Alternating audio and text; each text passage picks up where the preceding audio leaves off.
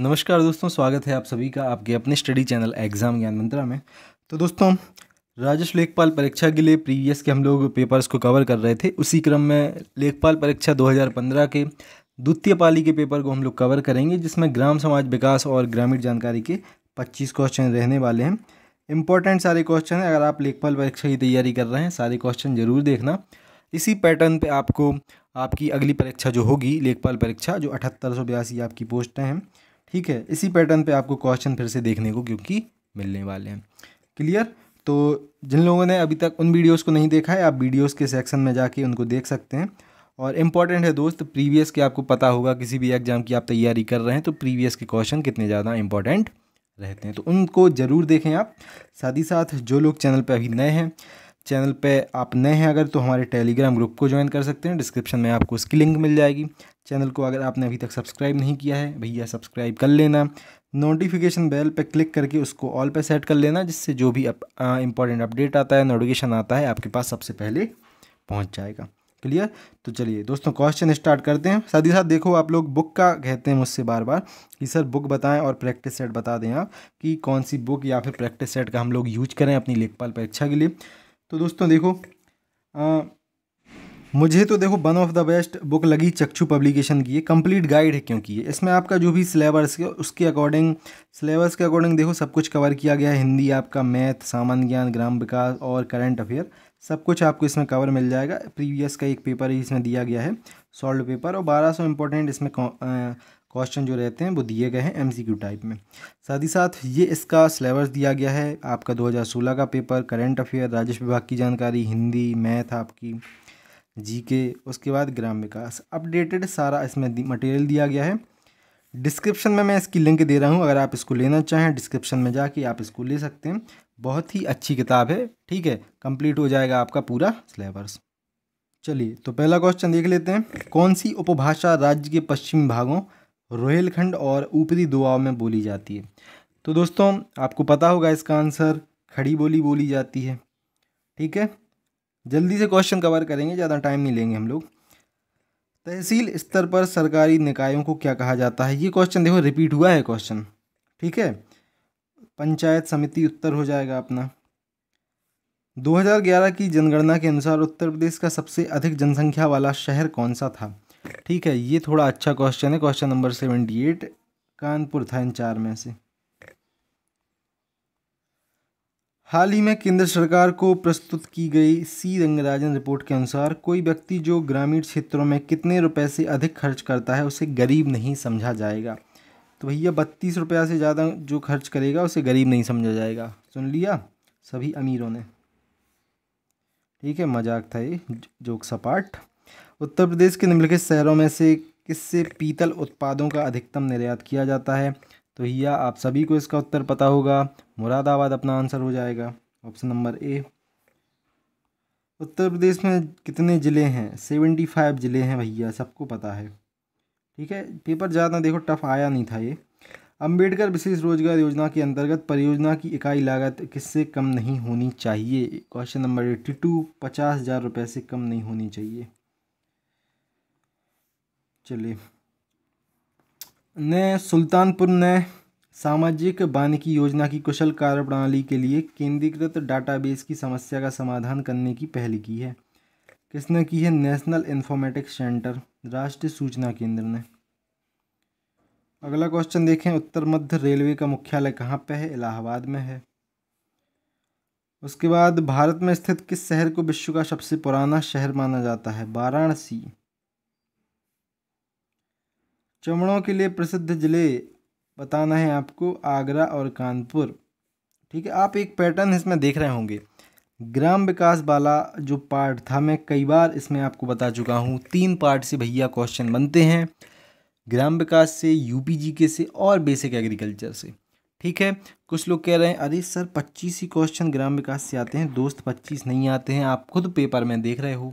ठीक है अच्छे खासे ठीक है मात्रा में आपको क्वेश्चन उत्तर प्रदेश की सामान्य ज्ञान से देखने को मिलेंगे ग्राम विकास वाले पार्ट में ही। नाम है उसका सिर्फ़ ग्राम समाज विकास ग्रामीण जानकारी। क्वेश्चन मिक्स रहते हैं उसमें यूपी जी के, के ग्राम विकास के और बेसिक एग्रीकल्चर के। क्लियर चलिए नेक्स्ट क्वेश्चन देखते हैं। इंदिरा आवास योजना जो एक केंद्र समर्थित योजना है का राज्य सरकार के साथ लागत सहभाजन अनुपात क्या है? तो दोस्तों क्वेश्चन नंबर एट्टी सेवन का उत्तर हो जाएगा अपना पचहत्तर अनुपात बीस। सॉरी पचहत्तर अनुपात पच्चीस। ठीक है? भू कृषि का रिकॉर्ड कौन सा है?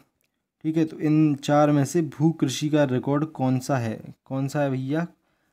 गिरदावरी है अपना उत्तर इसका। ठीक है? चलिए नेक्स्ट क्वेश्चन देखते हैं। एक बिस्बा का एक बीघा से अनुपात क्या? बहुत सारे यार इसमें क्वेश्चन रिपीट हुए हैं आपके पेपर में। एक और बीस में उत्तर हो जाएगा। एक एकड़ कितने वर्ग गज के बराबर होता है? अड़तालीस सौ चालीस उत्तर हो जाएगा आपका। N R E G P national rural employment guarantee programme ठीक है? राष्ट्रीय ग्रामीण रोज़गार गारंटी कार्यक्रम, इसका उत्तर अपना हो जाएगा। जिला अस्पतालों के लिए, ठीक है, भारतीय लोक स्वास्थ्य मानकों के अनुसार 10 लाख जनसंख्या वाले प्रत्येक ज़िले में कम से कम कितने बिस्तर होने चाहिए? यानी कि जो अपना डिस्ट्रिक्ट हॉस्पिटल रहता है गवर्नमेंट का, उसमें 10 लाख की जनसंख्या पे कम से कम कितने, ठीक है, बेड उपलब्ध होने चाहिए? यानी कि कितने मरीज़ कम से कम आ जाएँ? तो 300 अपना उत्तर हो जाएगा, ठीक है, कहीं कहीं इसका आंसर 350 लिखा है, लेकिन जो यूपी डबल एस की आंसर की आई थी, उसके अकॉर्डिंग 300 इसका उत्तर होगा, ठीक है? चलिए नेक्स्ट क्वेश्चन देख लेते हैं। घरेलू व्यक्तिगत सौर जल हीटर के लिए आर्थिक सहायता योजना के अंतर्गत उत्तर प्रदेश राज्य में क्या प्रोत्साहन दिया जाता है? बट्टा दिया जाता है उस पर कुछ, ठीक है? यानी कि रीबेट उत्तर प्रदेश की प्रमुख व्यावसायिक फ़सल कौन सी है? ठीक है तो प्रमुख व्यावसायिक फ़सल तो अपनी गन्ना होनी चाहिए इसमें नाइन्टी फोर हाँ गन्ना ही है इसका आंसर ठीक है? एक ग्राम पंचायत में ग्राम के बार्डों से चुने हुए कितने सदस्य होते हैं, जिन्हें पंच कहा जाता है? तो दोस्तों, देखो कहीं कहीं इसका उत्तर आपको एक से पाँच मिल जाएगा, ठीक है? कहीं कहीं आपका सात से सत्रह मिल जाएगा। ये क्या, ये डिपेंड करता है उस गाँव की जनसंख्या पे, ठीक है? जैसे एक हज़ार जनसंख्या पे अलग होते हैं सदस्य, दो हज़ार पे अलग होते हैं, तीन हज़ार से ज़्यादा पे अलग होते हैं। ग्राम विकास वाले पार्ट में हम लोग पूरा पढ़ेंगे इसको। ठीक है, ये क्वेश्चन तो छूटेगा ही नहीं आपका, अगर आप ग्राम विकास की पूरी क्लास ले लेंगे तो। सात से सत्रह उत्तर हो जाएगा। फिर से मैं बता दूँ, ये जनसंख्या पर डिपेंड करता है और, ठीक है? चलिए। उत्तर प्रदेश के उच्च न्यायालय के मुख्य न्यायाधीश की नियुक्ति कौन करता है? तो दोस्तों, राष्ट्रपति करते हैं सुप्रीम कोर्ट और सभी हाई कोर्ट के जो मुख्य न्यायाधीश रहते हैं, उनके जजों की नियुक्ति। क्लियर? नाइन्टी सिक्स का अपना भारत का राष्ट्रपति हो जाएगा। ठीक है, इसमें राष्ट्रपति प्रधानमंत्री की भी करते हैं, सुप्रीम कोर्ट के जो मुख्य न्यायाधीश रहते हैं उनकी भी करते हैं, राज्यपाल की भी करते हैं, यूनियन टेरिटरी के जो प्रशासक या फिर राज्यपाल रहते हैं, उपराज्यपाल जिन्हें कहा जाता है, उनकी भी करते हैं, ठीक है, महान्यायवादी की भी करते हैं सी भी जो कैग रहता है, उनकी भी करते हैं, ठीक है, जो चीफ इलेक्शन कमीशन रहता है, उनकी भी करते हैं, सीआईसी जो मुख्य सूचना आयुक्त रहते हैं, उनकी भी करते हैं, यूपीएससी के अध्यक्ष की भी करते हैं, ठीक है, ये कुछ इंपॉर्टेंट पॉइंट हो गए जो मैंने आपको बताया अगला देखें दोस्तों उत्तर प्रदेश में एक वर्ष में न्यूनतम कितनी ग्राम सभा की आ, मीटिंग होनी चाहिए? न्यूनतम की बारे में बात की गई है तो कम से कम बारह महीने में कम से कम दो होनी चाहिए क्योंकि प्रत्येक छः माह में एक अनिवार्य रहती है कि छः माह से अधिक।